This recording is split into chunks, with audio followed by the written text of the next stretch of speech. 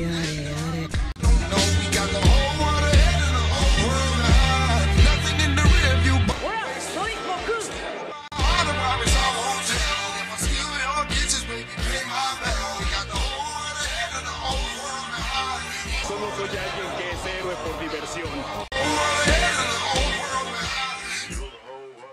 Capítulo 14. Muerte Una poderosa ráfaga de viento se llevó todo el polvo y la suciedad de la azotea de un edificio de apartamentos cuando dos personas aterrizaron sobre ella con un ruido sordo. Unos segundos más tarde, se escuchó el sonido de alguien vomitando. Coño. Dijo Mirko y se rió al ver al niño zorro luciendo como si estuviera medio muerto. Maldito psicópata. Pensé que iba a morir. Naruto le gritó cuando finalmente logró controlar su malestar estomacal. Oh, basta con el acto de reina del drama Naruto sintió que su presión arterial se disparaba por las nubes cuando la vio reír. Reina del drama. Si yo fuera un niño normal, ese sprint tuyo me habría matado. No fue tan rápido, sinceramente. Rompiste la barrera del sonido. Ajaja.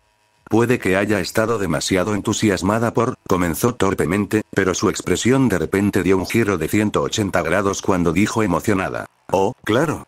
El asesino de héroes. Sacando su teléfono inteligente, Mirko pareció olvidarse por completo del chico indignado mientras usaba la aplicación Hero Network para revisar nuevamente el artículo sobre Hero Killer. Increíble, dijo exasperado.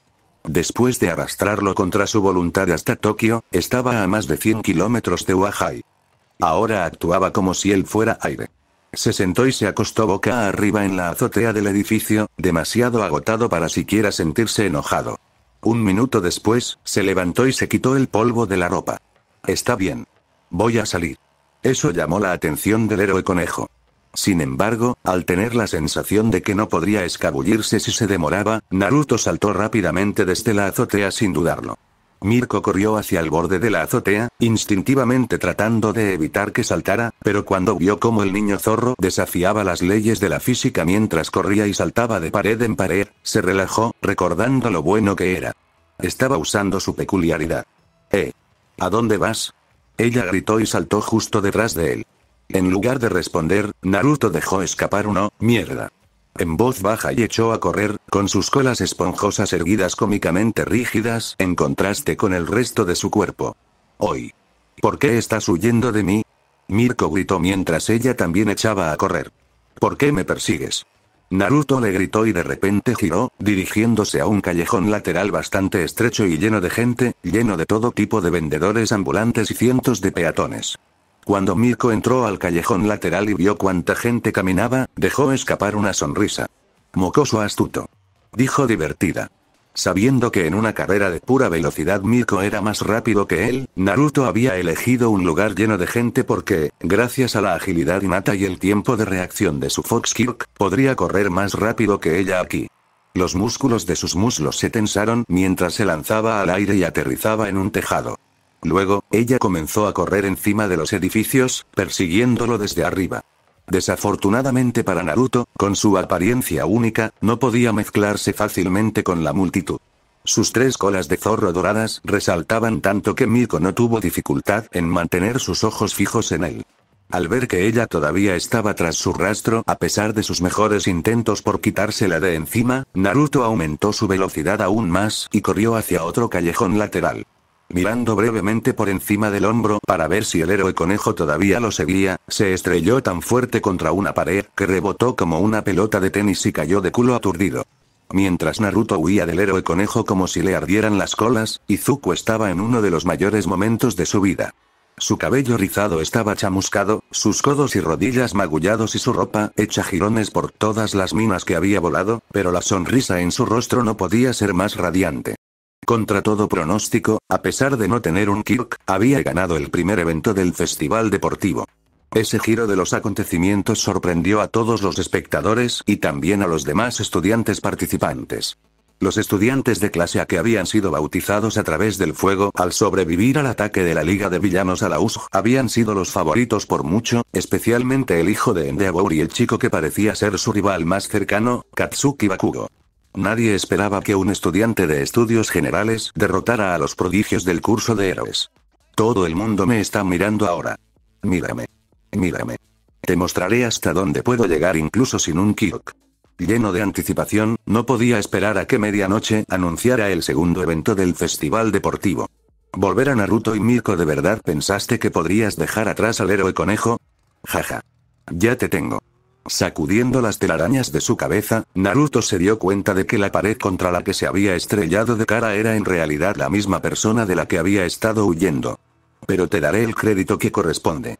No estuviste tan mal, para ser un mocoso tonto. El rostro de Naruto se arrugó con molestia. Su sonrisa engreída lo molestaba incluso más que sus palabras. Está bien, está bien, ganaste. Levantó las manos y dijo. Mira, solo quiero ir a casa. ¿Me estás diciendo que no sientes la menor curiosidad por ver de primera mano a un héroe profesional en acción? Dijo Mirko y puso sus manos en su cintura, sin creerlo. Un, en realidad no. No quiero convertirme en, comenzó a decir Naruto pero Mirko de repente levantó la mano para detenerlo y dijo, espera un momento.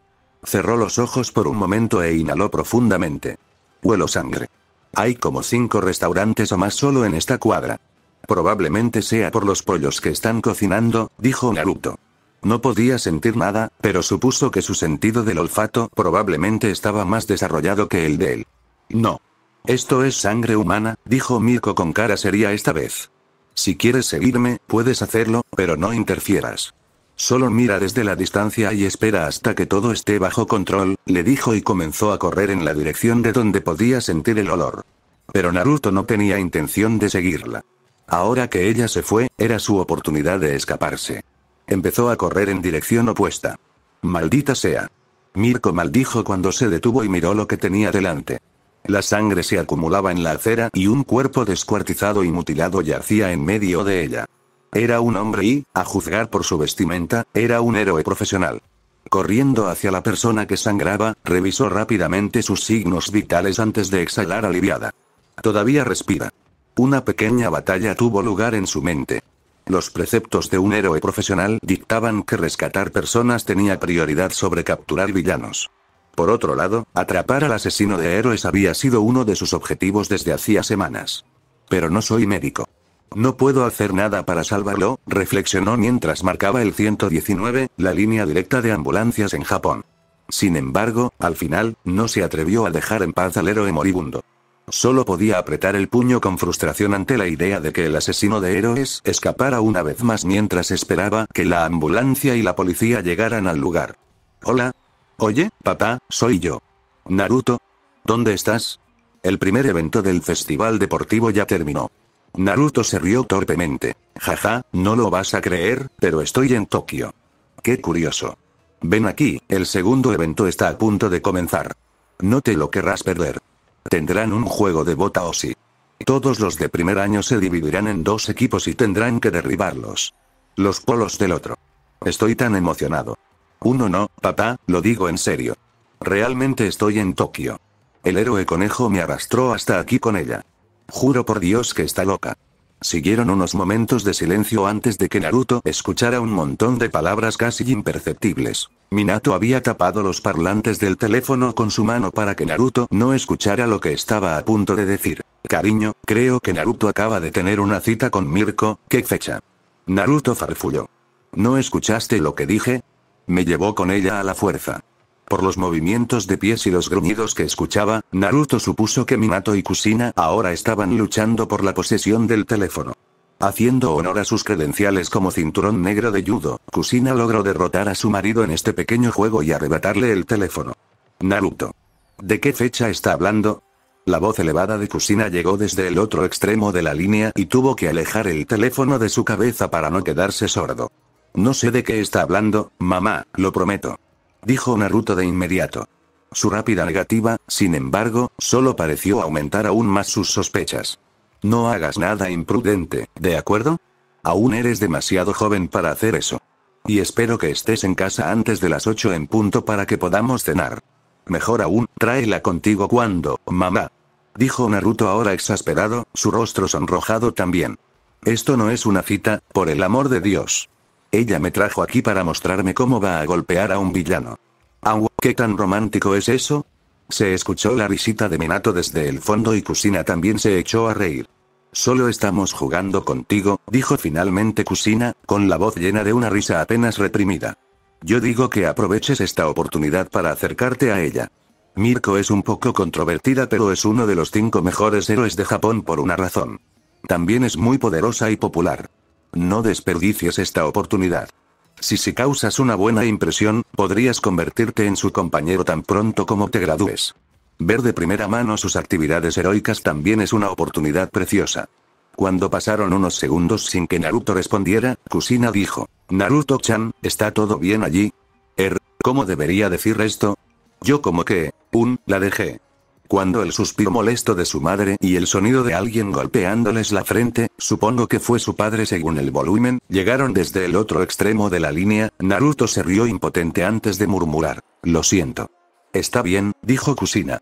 Esta mañana me dijiste cómo te sientes al convertirte en un héroe, así que no diré nada más para presionarte.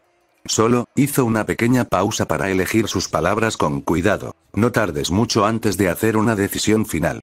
Hay momentos en la vida en los que se te presentan oportunidades y si no las aprovechas con ambas manos, es posible que nunca vuelvas a tenerlas. Naruto habló con sus padres durante unos minutos más antes de que tuvieran que finalizar la llamada. Con el inicio del segundo evento del Wahai Sports Festival, el ruido hecho por los espectadores en las gradas se volvió demasiado fuerte para que pudieran hablar entre ellos. Por teléfono.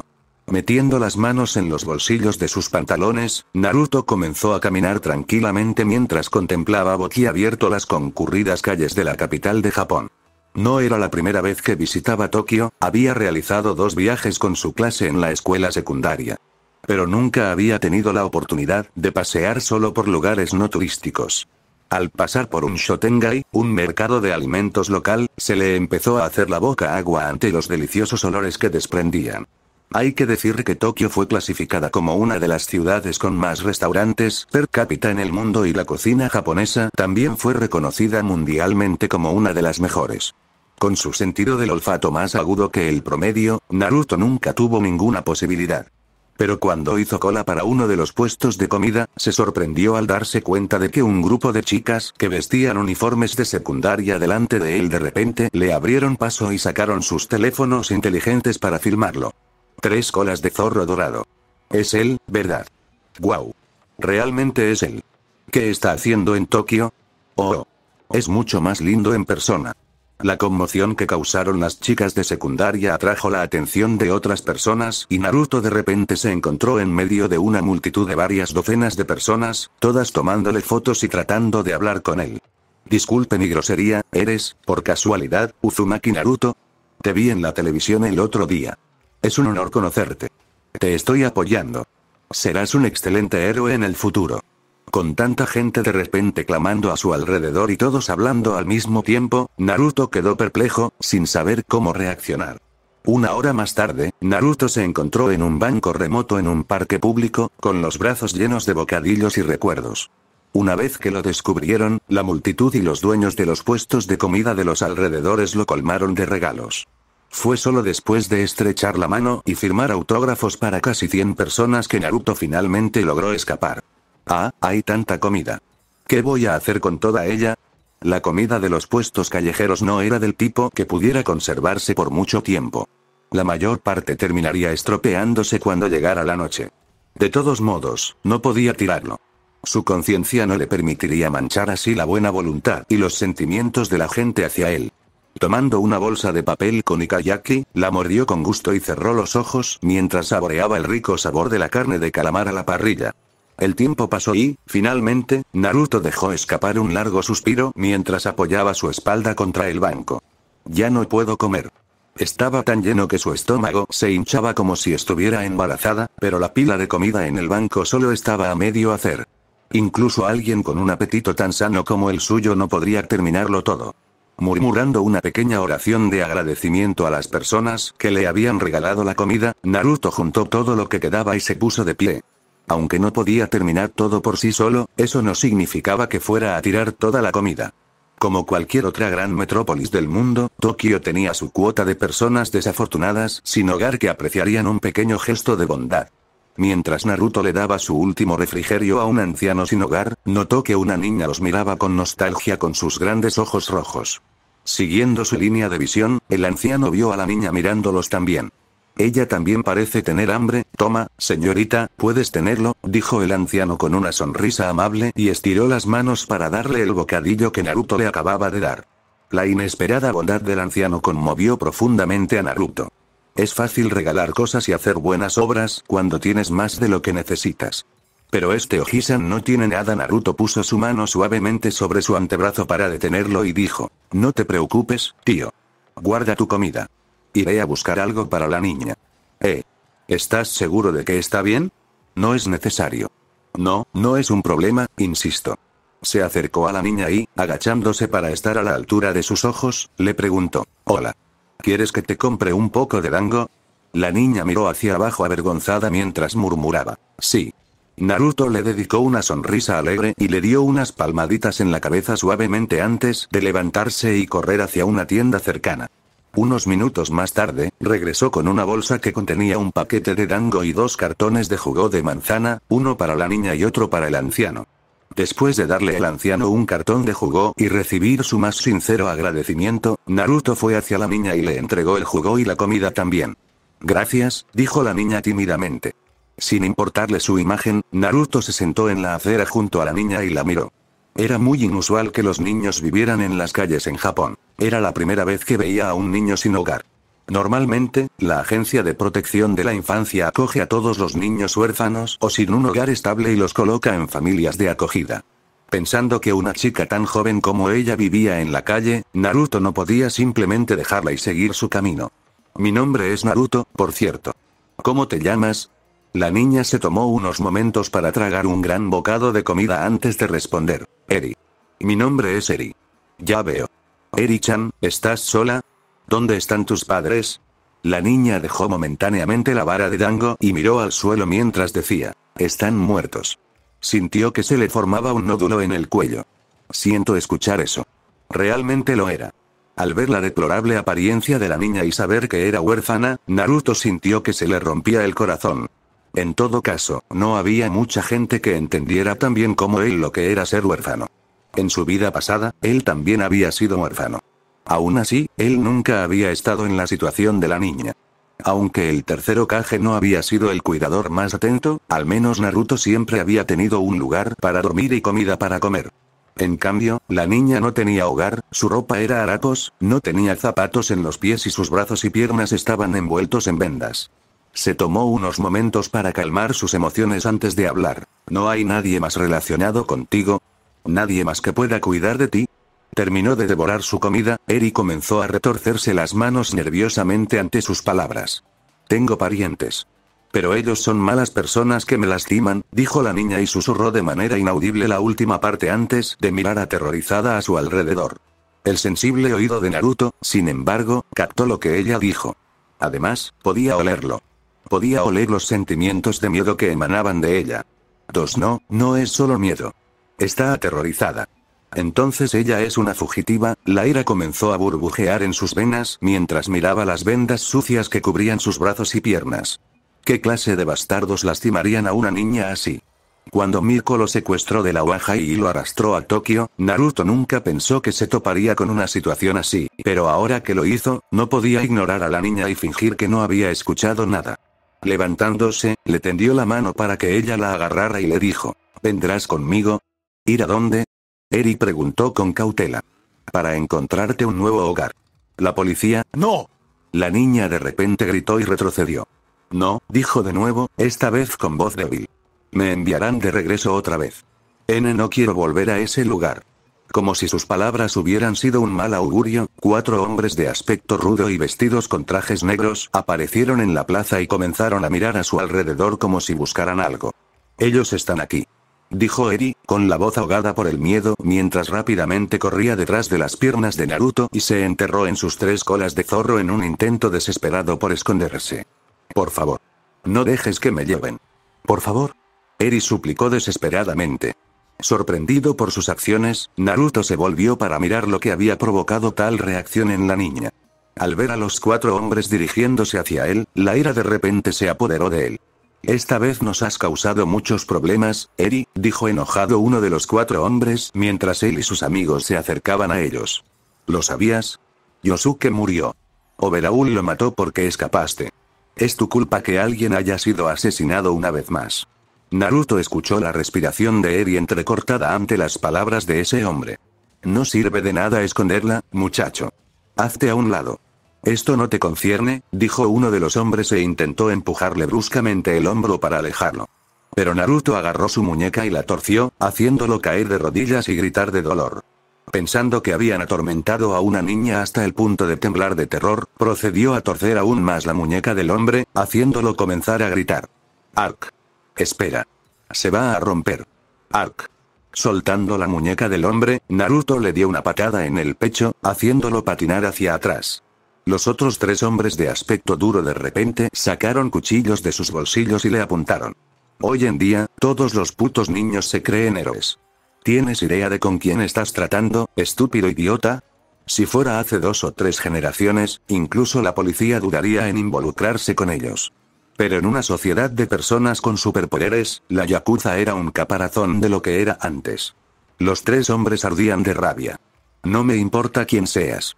Lo único que veo es que cuatro hombres con cuchillos están tratando de llevarse a una niña en contra de su voluntad. Pequeña mierda. Estás tan muerto cuando te ponga la mano encima. Voy a joder, estallido el hombre que estaba en medio de malas palabras y maldiciones, fue repentinamente volado como si lo hubiera atropellado un camión. Con la pierna aún extendida por la brutal patada que había golpeado en el estómago de ese hombre, Naruto miró a los otros tres que inconscientemente se habían alejado de él con temor. Pero el tiempo de hablar pacíficamente pasó en el momento en que lo amenazaron con sus cuchillos.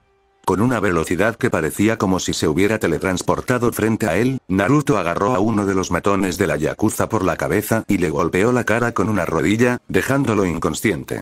Los otros dos no tuvieron tiempo de reaccionar porque, una fracción de segundo después, apareció entre ellos como una mancha. Una patada con Oasenpu se estrelló en sus mandíbulas al mismo tiempo, enviándolos a volar en direcciones opuestas. Con los cuchillos esparcidos por el suelo, los cuatro hombres no se levantaron. Estaban inconscientes. La pelea completa duró menos de cinco segundos, pero la visión de un joven golpeando a cuatro hombres aficionados atrajo la atención de la gente de inmediato. Será mejor que nos alejemos antes de que llegue la policía o un héroe. Ven, súbete a mi espalda. Te llevaré para que podamos huir más rápido, dijo Naruto y se agachó. Era un extraño al que había conocido hacía solo media hora, pero la amabilidad que le había mostrado al comprarle comida y la forma en que la protegió de los hombres de Overaul hicieron que cualquier duda que Eri pudiera haber tenido sobre él se desvaneciera. Colocándose sobre su espalda, la niña le rodeó el cuello con las manos con fuerza mientras Naruto echaba a correr. Un rato después, Naruto y Eri estaban sentados en un banco en un parque infantil más remoto, recuperando el aliento. Mientras la pequeña se retorcía las manos ansiosamente, Naruto tampoco estaba menos preocupado. Estaba apoyando su rostro en sus palmas mientras intentaba encontrar una manera de lidiar con la situación. Y pensar que elegiría a una niña que se fugó de una familia que es parte de una pandilla de algún tipo. Quería ayudar a Eri con cada fibra de su ser pero no sabía qué podía hacer por ella. Él era solo un menor de edad ante los ojos de la ley, no podía convertirse en su tutor. Y lo peor era que tampoco sabía cómo lidiar con la pandilla. Él podía darles una paliza, no todos los problemas del mundo se podían resolver golpeando a la gente. Desafortunadamente, las cosas no fueron tan simples. Dado que Eri-chan no quiere ir a la policía, ¿eso significa que sus familiares tienen a alguien adentro? ¿Qué diablos son, Yakuza? Pensó con un resoplido. Yakuza ya existe. Mamá me dijo que la mayoría de las organizaciones criminales se disolvieron después del ascenso de Olmig al poder. Mientras Naruto estaba profundamente enterrado en sus pensamientos, una serie de pasos relajados le hicieron mirar al recién llegado. Este día sigue mejorando, dijo Naruto con sarcasmo.